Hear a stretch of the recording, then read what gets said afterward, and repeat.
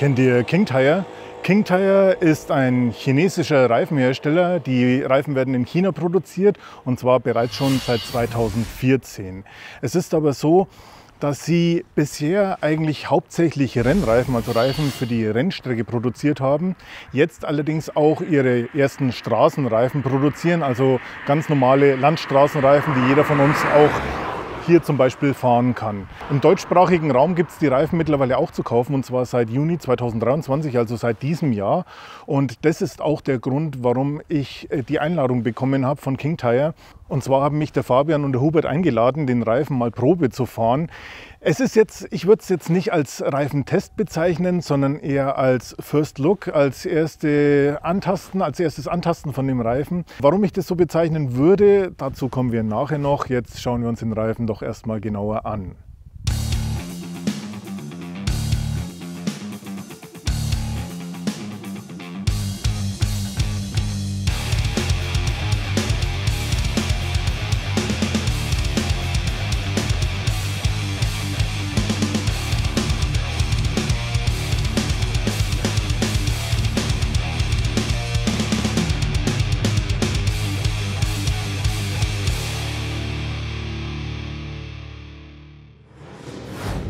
Probefahrt. Wo und wie testet man chinesische Reifen am besten? Natürlich auch auf einem chinesischen Motorrad. Und deswegen hat es mich ganz besonders gefreut, dass Zweirad Walz aus Stuttgart diesen Test dann auch mit ermöglicht hat und die Motorräder ähm, gestellt hat, die wir dann fahren konnten. Das war zum einen die CF Moto 700 CLX und dann noch die CF Moto 800 NK. Zwei wirklich geile Bikes. Wenn ihr wollt, wenn ihr dazu noch genaueres wissen wollt, beziehungsweise meinen Test wissen wollt, was ich darüber denke, wie ich damit zurechtkommen bin, ihr könnt es gerne unten in die Kommentare schreiben, dann mache ich da vielleicht noch ein separates Video dazu. Ansonsten vielen Dank, dass ähm, ihr die Motorräder zur Verfügung gestellt habt. Da waren die Reifen dann auch schon montiert, wurden, waren niegelnagelneu, also die waren jetzt nicht irgendwie großartig eingefahren oder sonst irgendwas, sondern frisch montiert für uns, für den Reifentest. Für wen ist der Reifen geeignet? An wen richtet sich der Reifen? In erster Linie an Fahrer, die auf der Landstraße doch etwas zügiger unterwegs sind, die sportlich zügig fahren ähm, Motorräder kann man so einordnen, die Supersportklasse, also Gixxer, ähm, Yamaha R1, R6, je nachdem, Honda, Fireblade und so weiter, aber auch an die entsprechenden Naked Bikes, die halt gut Leistungen haben und zügig unterwegs sind.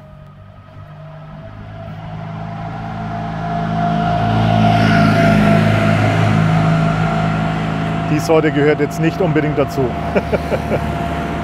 Also beim K97 handelt es sich um einen Sportreifen. Der hat ein sehr breites Anwendungsfeld, ist ein, ein Sportreifen, also kein Hypersportreifen, der was äh, einem Rennreifen ähnelt, sondern der ist eigentlich für zügige Landstraßenfahrten äh, gedacht. Ja ist auch aufgebaut äh, in zwei Komponentenmischung vorne sowie hinten. Ja. An den Flanken haben wir weiches ähm, Material und in der Mitte auf der Lauffläche ist eher härteres Material, damit auch die Laufleistung, sage ich mal, den handelsüblichen Reifen dann auch vertretbar ist und eben die gleichen Laufleistungen erzielt dann auch. Darf ich den Reifen überhaupt fahren? Also zum Thema Reifenfreigabe, das ist ja immer noch ein weit verbreitetes Mysterium, das ja manche noch denken, dass das ja immer noch eingetragen werden muss oder einen feste, festen Bezug zum Motorrad gibt. Das ist ja mittlerweile eben, wie du gesagt hast, Andreas, ist ja aufgehoben. Ähm, deswegen, man kann, sage ich mal, wenn die Reifengröße passt, ja, kann das ja auf dem Motorrad gefahren werden. Ähm, ja, wir können die Reifen, wenn auf, auf den klassischen Modellen, wie du auch sagst, Gixxer, Triumph, KTM, kann das alles äh, gefahren werden. Wir haben keine Motorräder, wo da ausgeschlossen sind äh, von, von King selbst. Also kann äh, bedenkenlos eingesetzt werden. Wie fährt sich der King Tire K97? Ich muss sagen, ich kam eigentlich vom ersten Meter wirklich gut zurecht. Also ähm, gerade auf engen, langsamen Kurven beziehungsweise mit kalten Reifen aus der doch engen Ausfahrt raus, hatte ich im Vorfeld eigentlich ein bisschen Bedenken. Ich wusste nicht, wie reagiert das Motorrad auf Gasstöße, wie empfindlich ist die Gasannahme und alles. Und da kann es bei, bei solchen Sachen ja doch mal dumm laufen. Ich glaube, das kennt jeder von, von euch, das Video von der Gixxer, der, da wo der Besitzer seine Maschine niegelnagelneu beim Händler abgeholt hat und dann losfahren wollte und dann hier Schlängel, Schlängel und dann aufs Maul gelegt. Was sollte mir natürlich nicht passieren, wollte, äh, ja, wollte ich nicht unbedingt, wollte ich vermeiden. Und war mit dem Reifen wirklich überhaupt kein Problem. Zum einen Maschine, Reifen waren beides super äh, zu kontrollieren. Ich hatte mit dem Reifen, wir waren eigentlich den ganzen Tag unterwegs. Ich bin wie gesagt mit der, mit der Sport oder ähm, 700 CL Sport war es ja ähm, unterwegs und auch mit der, mit der 800 NK. Ich hatte mit keinen von beiden Maschinen in irgendeiner Weise irgendwo mal einen, kritische, einen kritischen Moment oder irgendwo äh, das Gefühl von wegen, oh, jetzt war ich an der Reifengrenze oder sonst irgendwas. Ähm, absolut nicht. Ich habe immer wunderbaren Grip gehabt, immer ein gutes Gefühl, ein sicheres Gefühl. Der Reifen war nie irgendwie kipplig oder so, sondern immer wunderbar einzuschätzen. Man konnte immer sagen, wo wie er reagiert. Also es war auch nicht so, dass, dass er ab einer gewissen Schräglage dann auf einmal weiter in die Kurve gekippt ist oder, oder instabil wurde oder so. Absolut nicht. Es war sogar ein Moment, wo ich überholen wollte, was dann auch nicht funktioniert hat, was dann zu knapp war. Da kam dann um die Kurve dann rum ein LKW, wo ich dann den, den Überholversuch abgebrochen habe und dann dementsprechend in die Bremse gehen musste. Das Auto, das ich überholen wollte, ging auch in die Bremse, wollte mich halt noch vorbeilassen oder hat halt im Endeffekt wollte die, die Gefahrensituation entschärfen, was natürlich, wenn man beide Bremsen eigentlich eher schlecht ist. Und dazu kam ähm, die CF Moto CL 700 CL X Sport. Brutale Bremsen. Die hat solche brutale Bremsen und auch eine etwas weiche Gabel von ihr. Also ich würde es mir ein bisschen härter wünschen, aber ähm, ich bremse eigentlich sowieso immer bloß mit zwei Fingern und das Ding ist eingetaucht vorne ohne Ende. Viel zu krass, deswegen habe ich auch dann nochmal aufgemacht weil es auch jetzt nicht so knapp war vom Überholen. Also es war jetzt, musste jetzt keine Gefahrenbremsung machen oder so. Wie gesagt, habe nochmal aufgemacht und bin dann auch nochmal äh, in die Bremsen dann, weil ich dann halt normal verzögern wollte und gleich dasselbe wieder. Ich bin vorne eingetaucht ohne Ende. Das Ding verzögert brutal. Also das, die kannst du wahrscheinlich wirklich mit, mit einem Finger ähm, fahren, also oder mit einer Finger, mit einem Finger bremsen. Da kommt man wahrscheinlich dann besser zurecht. Also ich war mit der Bremse, weil ich so stark von meiner nicht gewohnt bin, ähm, in Anführungsstrichen ein bisschen überfordert, beziehungsweise in so Gefahrensituationen. Bin super damit klargekommen, aber in, in so einer Situation, wo du mal doch äh, ankern musst, war ich einfach, da habe ich halt einfach ein bisschen zu überbremst und selbst da hat der Reifen null, also das Ding hat ABS und das ABS hat nicht eingesetzt, weil der Reifen massig Grip produziert hat oder wirklich noch genug Grip hatte. Von dem her, ich hatte, kann es nur wieder betonen, ich habe den ganzen Tag ein gutes Gefühl gehabt. Ansonsten sollen die Reifen eigentlich wirklich auf Augenhöhe mit den bekannten Konkurrenten sein, also auch was Verschleiß und, und Haltbarkeit betrifft. Das konnte ich in diesem Test natürlich oder den, bei den Probefahrten natürlich nicht testen. Deswegen auch meine Bezeichnung als erster Eindruck, als, als First Taste, als First, keine Ahnung. Denn wirklich den Langzeittest ähm, konnte ich nicht fahren. Ich würde sagen, Nachteile sehe ich gegenüber den, den Konkurrenzprodukten nicht. Ja, also ich würde sagen, sie sind gleichwertig mit den Konkurrenzprodukten. Jedoch ist die Preis-Leistung im Moment schon unschlagbar. Es ist auch nicht so, dass es ist der größte Radialreifenhersteller in China. Also es ist nicht irgendein, irgendeine Hinterhofschmiede, sondern es ist äh, ein Unternehmen, das seit 2014 am Markt ist und ähm, daher schon aus einigen Erfahrungen schöpfen kann. Ergänzend zum Fabian sein Thema, was die Vorteile von, von Kingter, Kingter Reifen sind, das ist ja gerade auch so in den ganzen Gesprächen mit den Motorradfahrern, ist es ja, das ganze Hobby wird einfach teurer, egal ob Rennstrecke. Ne? Also die Preise steigen da sehr stark gerade, was äh, am, am, Reifmaterial, was man da hinlegen muss aktuell. Ähm, da versuchen wir einfach, dass wir weiterhin unser schönes Hobby ausleben können, dass man einfach eine preisgünstigere Alternative hat, ja äh, und dass man einfach weiterhin sein Hobby genießen kann. Das ist eigentlich ein ganz, ganz großes Ziel von uns. Und da, sage ich mal, wollen wir das auch weiterhin so versuchen, äh, dass wir die Reifen zu einem super guten Preis und Leistung auch anbieten können. Ist der Reifen auch für einen Ausflug auf die Rennstrecke geeignet? Der Reifen ist aber auch für gelegentliche Ausflüge auf die Rennstrecke ähm, durchaus geeignet. Also wer jetzt halt ständig auf der Rennstrecke ist und gewohnt ist, dort zu fahren und normalerweise mit Slicks fahren, fährt, der sollte natürlich auf die dementsprechenden Slicks von King Tire zurückgreifen oder irgendeinem anderen Hersteller natürlich. Ähm, für den ist das nichts mehr, aber wer jetzt noch nicht oft auf der Rennstrecke unterwegs war, mal einen Ausflug auf die Rennstrecke wagen will, für den ist es natürlich auch geeignet oder für Instruktortrainings zum Beispiel. King Tire ähm, hat mittlerweile auch schon verschiedene Instruktor an der Hand, die mit ihrem Reifen eben diese Instruktionstrainings machen. Also von dem her für die Rennstrecke auch geeignet. Ansonsten noch nebenbei erwähnt, der Slick von King Tire wird auch in bestimmten Rennklassen ähm, auf der Rennstrecke gefahren. Also die EWC ist zum Beispiel die Endurance-Klasse, ist wahrscheinlich die bekannteste noch. Ansonsten natürlich in, in, in China in verschiedenen Rennklassen sind sie dann natürlich gut unterwegs. Rennklassen, die uns jetzt hier wahrscheinlich alles weniger sa was sagen. Darum brauche ich es jetzt auch nicht auflisten. Außerdem weiß ich es ja auswendig jetzt auch gar nicht. Also von dem her, das nur am Rande. Kommt jetzt immer mehr, sind ja jetzt auch in der EWC, sind sie jetzt mitgefahren, äh, das zweite Jahr schon dementsprechend. Verschiedene äh, südamerikanische Meisterschaften fahren sie, in Asien fahren sie. Und natürlich müssen wir jetzt auch das Produkt dann mehr adaptieren für den europäischen Markt. Und da sind wir dran und bauen es ja eben gerade aus. Warum das kein Reifentest ist. Und jetzt kommen wir auch zu dem Punkt, warum ich das hier als First Look bezeichnen würde und nicht als Reifentest.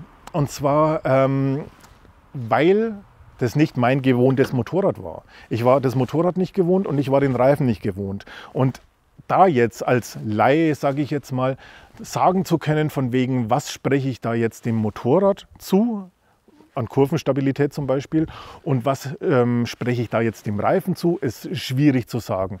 Vor allem kam auch noch dazu, die Strecke kannte ich nicht, zu viele Faktoren, die hier einen Test verhindern würden oder deswegen würde ich es nicht als Test bezeichnen. Ich konnte ihn nicht auf längere Zeit testen, also ich konnte ihn nicht über ein paar tausend Kilometer testen bis zur Verschleißgrenze. Ich bin ihn nicht im Nassen gefahren, wobei er einen ziemlich hohen Silikatanteil haben soll was bedeutet, dass er auch im, im, Nassen wirklich gut funktioniert. Also zum einen schnell einzufahren ist, was ich auch nicht wirklich prüfen konnte, weil äh, wir sind in Stuttgart losgefahren und mussten da erstmal eine ganze Zeit lang uns durch die Stadt durchschlängeln, bis wir dann auf die Landstraße kamen. Von dem her hatte der Reifen genug Zeit, sich warm zu fahren. War überhaupt kein Problem, die, die, die, das Gas zu dosieren oder dass der ähm, Reifen irgendwie Schlupf generiert hätte oder sowas. Das war, wie gesagt, alles im grünen Bereich. Von dem her hat er einen guten Eindruck gemacht, auch da. Aber deswegen kann ich es halt nicht wirklich beurteilen, wie schnell ist er jetzt wirklich warm gefahren, weil, wie gesagt, wir sind zu lang durch die Stadt. Aber ähm, nach dem, was ich mitgekriegt habe oder gehört habe und dem glaube ich jetzt einfach auch, dass der ziemlich schnell auf Temperatur ist, dass er, äh, wie gesagt, im Regen auch gut funktioniert, glaube ich jetzt halt auch. Konnte ich allerdings, wie gesagt, nicht testen. Ich konnte nicht testen, ähm, wie er auf längere Zeit ähm, funktioniert, wie er vielleicht im Laufe der Zeit abbaut oder wie auch immer. Deswegen ist das Ganze eben kein Reifentest, sondern nur ein First Look. Aber First Look mit verdammt gutem Gefühl. Was auch so eine Sache ist, warum das eher ein First Look ist, jeder Reifen funktioniert doch bei jedem Motorrad etwas anders.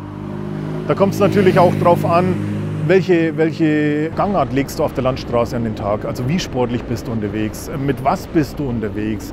Wie ist deine Tagesverfassung überhaupt? Das hat so viele Faktoren, dass es doch ziemlich auch individuell ist. Und ich glaube, ich hätte sowieso nicht im Kreuz, da jetzt eine Pauschal zu sagen, von wegen der Reifen ist besser wie der Reifen oder der Reifen ist für dich oder für die Maschine absolut geeignet, weil das auf zu viele individuelle, äh, individuelle Faktoren ankommt, die jeder für sich eigentlich entscheiden sollte oder muss, die ich einem anderen nicht äh, irgendwie abnehmen kann. Mein Fazit. Was ich ja definitiv sagen kann, der Reifen ist auf jeden Fall einen Blick wert. Also ich bin, wie gesagt, wunderbar damit klargekommen. Ich muss jetzt auch mal schauen, wie es weitergeht äh, mit, mit King Tire, weil ich Bock habe auf den Reifen, weil es auch das größte Argument einfach und das beste Argument ist natürlich der Preis. Der ist einfach vom, von, von, vom Preislichen ähm, unschlagbar und was ich eben mir erhoffe oder was ich eben denke, preis-leistungsmäßig halt auch. Also nicht nur der Preis, sondern auch, was der Reifen kann. Und das in Verbindung Preis-Leistung einfach, denke ich, könnte ja wirklich unschlagbar sein. Und gibt es allerdings ähm, für mich in meiner Größe hier nicht. Hinten habe ich ja einen 160er, 160er drauf und die Größe wird es geben, äh, aber für vorne nicht. Also vorne hat die alte Maschine, die, die alte Oma hier, die hat ja 120, 60, 17 Zoll und den Reifen gibt es aktuell eben, zumindest im deutschsprachigen Raum, nur 120, 70, 17 Zoll. Ich muss jetzt mal gucken, wie wir da verbleiben, ähm, ob ich mir da vielleicht für einen Langzeittest noch was organisieren kann oder vielleicht das sogar um, äh, umtragen lassen kann. Ich weiß es nicht, ob das möglich ist, was der TÜV dazu sagt.